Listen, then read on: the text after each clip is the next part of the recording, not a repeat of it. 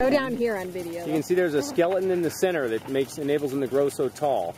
Uh, we can also see little barrel cactus have maroon color needles. They look like baby saguaros, but you never really see a baby saguaro because they usually grow right in up Look at all against a the greasewood tree. tree. Looks like rattlesnake things. Right.